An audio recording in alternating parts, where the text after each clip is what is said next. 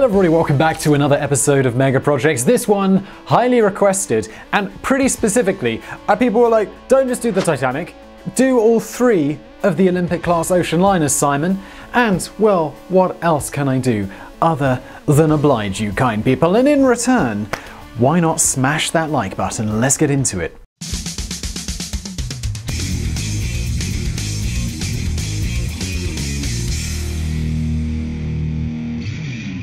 It was a freezing night in the North Atlantic when the end came. The date was the 12th of April 1912. You know the story well by now? Iceberg, right ahead, came the call from the night lookout on board perhaps the most iconic ship to ever set sail. Two hours and 40 minutes later, the Titanic began to slip below the icy waves. It was, of course, her maiden voyage, a journey from Southampton to New York that would forever remain incomplete. But our story today doesn't simply concern the legendary Titanic. She was, after all, one of three Olympic class ocean liners that were launched within four years of one another. The Olympic, the Titanic, and the Britannic were designed to cement Britain's place at the forefront of luxury ocean travel, and yet only one of these mammoths, which were the largest ships in the world at the time, would survive more than a year on the water. And just a side note here, I'm sure we'll get into the Titanic's size, but just compared to modern cruise ships, it's so small. There's an incredible image which I recently shared on Twitter, I think when we were first putting together this the, the script for this video,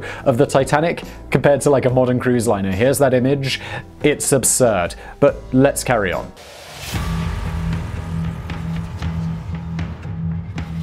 The early 20th century saw a heated battle between Britain and Germany.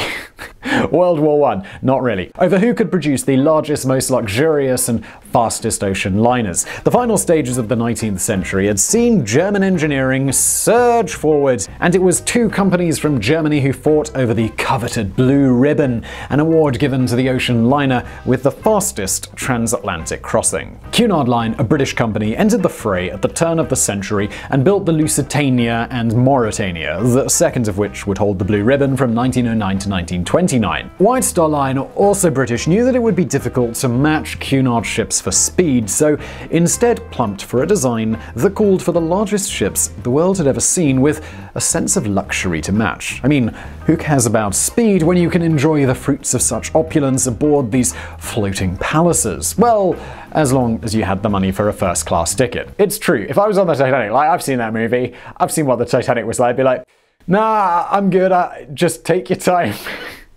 I'll just relax, assuming I was in first class.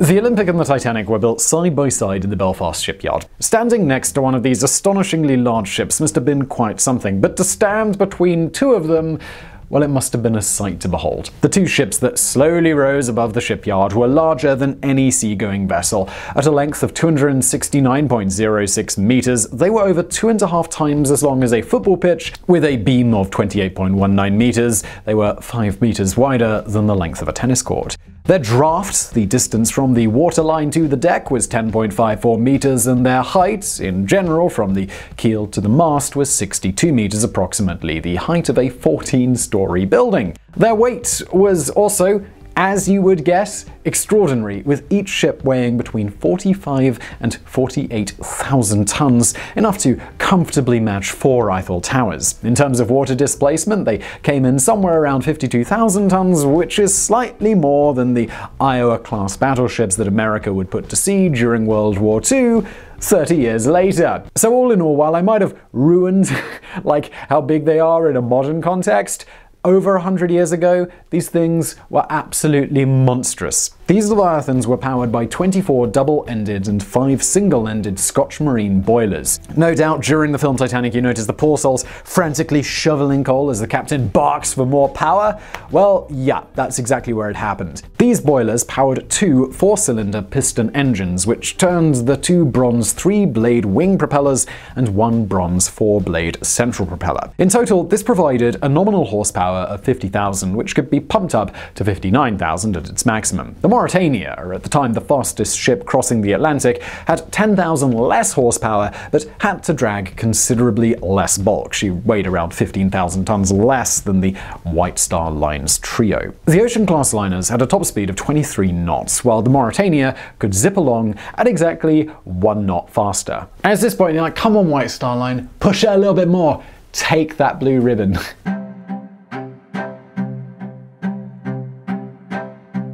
These giants were all set over nine decks, seven of which were occupied by passenger accommodation, and let's look at them. First up, the boat deck. At the very summit was the boat deck with deck housing, lifeboats, and the ship's four iconic funnels. The bridge and wheelhouse were located towards the front near the captain's and officers' quarters. Either side of the bridge were two observation platforms, and it was from here that the Titanic's nemesis was first spotted. The boat deck also included a wooden deck promenade carefully divided into four for first class passengers, second class passengers, officers, and engineers, because God forbid they should mingle. No one wants to mingle with the peasants. Next up, A deck. The promenade deck ran for 166 meters along the entire length of the ship and was reserved for first and second class passengers.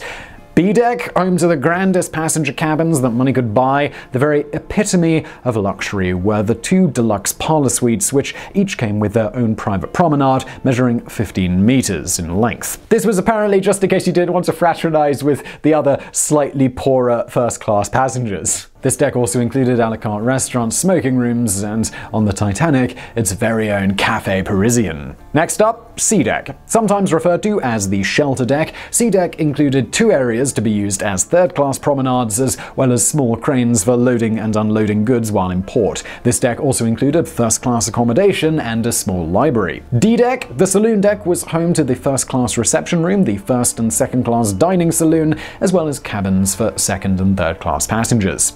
E-Deck, the only deck where cabins for all three classes could be found, though they were, of course, kept well apart. It was strictly prohibited to visit the areas set aside for the class or classes above you. This was also where the majority of the non-officer class male crew were accommodated in packed rooms with bunk beds. On the Titanic, this crew corridor came to be known as Scotland Road. The female crew normally shared two berth cabins, which were scattered throughout the ship.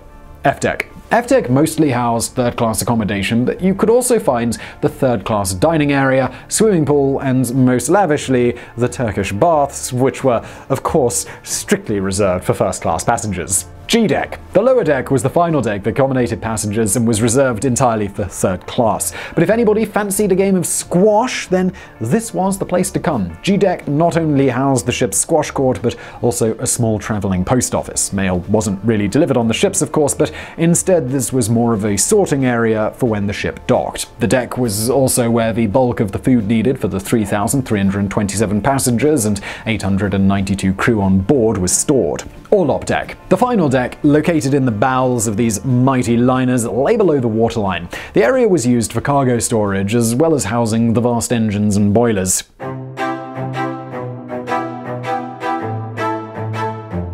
Just a few points on accommodation before we move on. As I mentioned, passengers on the Olympic class ocean liners were divided into three classes. A first class single person booth on the Titanic cost between £30, that's £3,000 today, and £870, which is £87,000 today, and that would get you a parlor suite. Needless to say, they were about as luxurious as you would ever find. The average second class ticket was £13, that's 1,120 £23 today. While their accommodation couldn't hope to match that of the first class, it was noted at the time that a second class experience on the Titanic was comparable to a first class trip on a smaller liner. Accommodation and amenities for third class passengers were better than almost any other liner. Yes, compared to first class, it probably seemed like abject poverty, but White Star Lines was eager to tap into this passenger group. Third class passengers had their own dining area along with cooks. Other liners at the time required third class passengers to bring their own food, and a cabin and bed were provided to every passenger. I know that sounds like a bit of a given, but for a third class ticket at the time, it really wasn't always. A third class ticket on Titanic cost £7, £698 today, with children travelling for £3 or £299 today. The vast majority of those travelling in this class on the Titanic were those emigrating to the United States, and as I'll come to shortly, a significantly higher percentage of third class passengers died than each of the others in the disaster.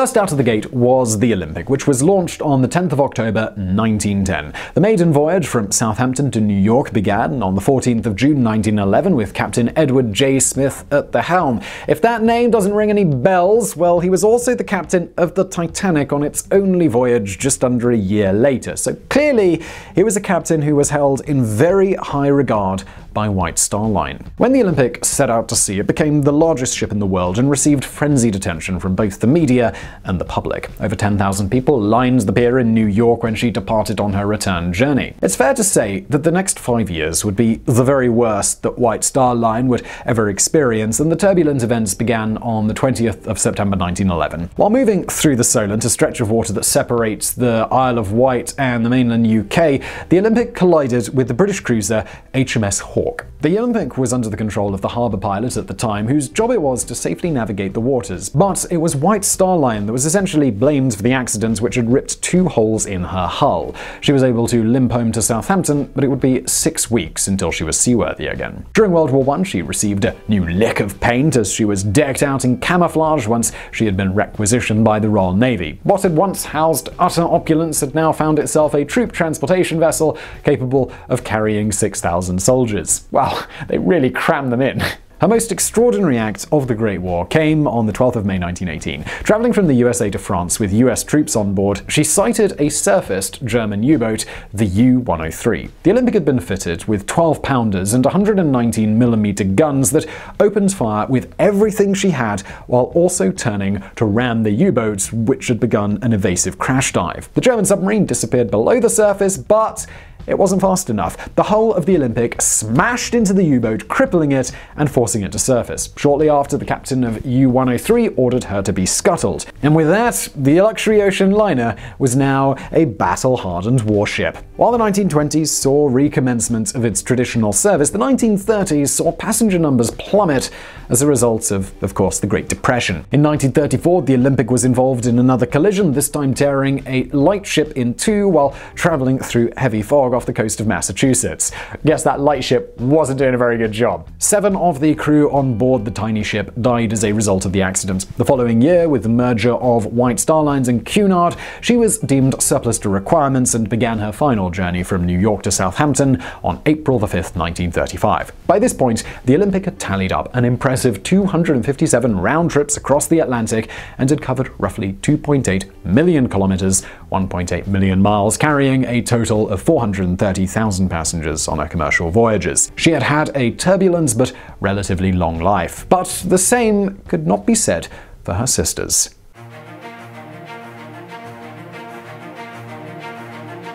The story of the Titanic and her infamous maiden voyage is perhaps the most well-known sea voyage in history and has of course been immortalized on the silver screen. The Titanic departed from Southampton on April 10, 1912, and never returned. On the 14th of April at 2340, an enormous iceberg was spotted in its path, and despite frantic attempts to turn, the ship slammed into the frozen iceberg, tearing off rivets below the waterline and opening a deadly gash in the hull. With pumps unable to prevent the flooding of five compartments below deck, she began to sink two hours and 40 minutes after the collision. It was to be one of the most horrific naval losses of life ever seen during peacetime, with 1,514 of the 2,224 souls on board losing their lives. The issue of the lack of lifeboats has been well documented, but it remains astonishing that the Titanic was not carrying enough lifeboats for everybody on the ship. It wasn't even close. The largest ship the world had ever seen was carrying just 20 lifeboats, enough for 1,178 people, roughly half of the number on board. Quite remarkably, when the Titanic met her demise, her uh, sister ship was only 930 kilometers away. The Olympic responded to Titanic's distress signal, but was far too far away to reach the stricken ship before she sank. Shortly before arriving on the scene, she was ordered to continue as other ships had picked up the survivors, and it was thought that asking people to board an almost exact replica of the ship that had just sunk would have been a harrowing experience. But I don't know, I'd rather get on the ship that looks exactly the same as the one that just sank rather than die in the icy water. Christ.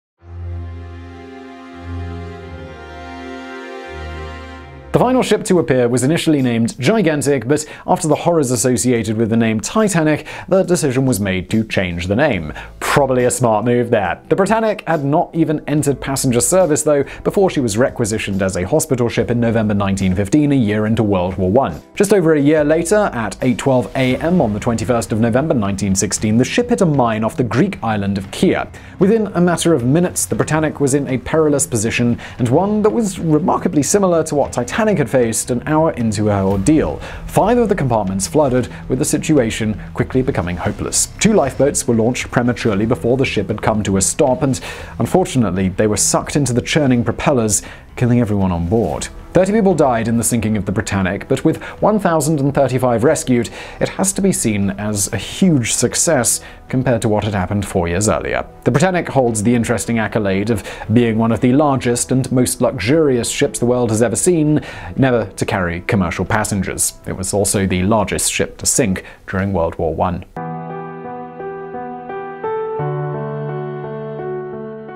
There is a thread that links the stories of the three Olympic class ocean liners. Violet Jessop died an elderly lady at the age of 83 in 1971, but it's probably fair to say that it took a lot to bring down this old woman who was often dubbed Miss Unsinkable. Quite astonishingly, Jessop was a stewardess aboard all three ships when they faced their greatest disasters. The Olympics collision with HMS Hawke in 1911, the sinking of the Titanic in 1912, and also the sinking of the Britannic in 1916. In her memoir, she recounted the horror as the Britannic slipped below the waves. The white pride of the ocean's medical world dipped ahead a little, then a little lower, and still lower. All the deck machinery fell into the sea like child's toys. Then she took a fearful plunge, her stern rearing hundreds of feet into the air, until, with a final roar, she disappeared into the depths. Violet Jessop died in Surrey in the UK 60 years after the Olympics collision, a truly remarkable tale of resolve, or maybe just luck, we're not quite sure.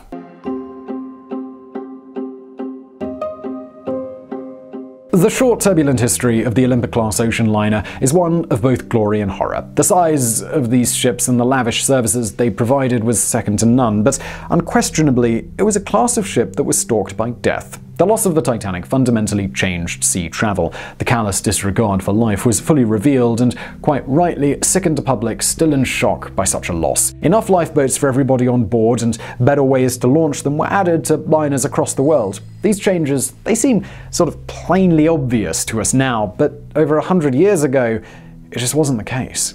The Olympic-class ocean liners are monuments to both what humans can achieve, but also the contempt that was once held by the mega-rich for those below them. While the three ships provided better conditions for the third-class passengers than almost any other liner in operation, those traveling on the Titanic with the cheapest tickets died in much higher numbers than the other classes. James Cameron's 1997 movie Titanic famously showed third class passengers held behind metal gates as the ship began to flood. There's a lot of debate over the accuracy of this because while gates were certainly used, it was primarily for US immigration purposes, which called for the classes to be kept apart. Really, more third class passengers died for two main reasons. Many did not speak English and therefore suffered from fatal miscommunication. Secondly, and most importantly, their accommodation was a considerable distance distance from the lifeboats, and he had to navigate a perilous flooding maze to even make it up onto the decks, by which time many of the lifeboats had already left, some less than 50% full.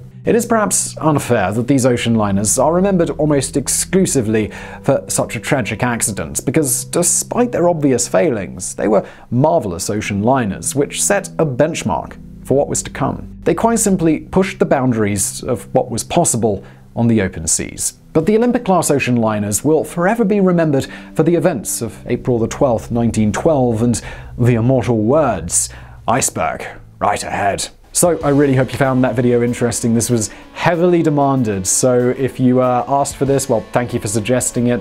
Please hit that like button if you like this video. Also subscribe, we do mega projects now three times a week, started on two, you guys like this channel, and I was like, I could probably squeeze an extra run in, so three times a week right now. Please do subscribe for more, and thanks for watching.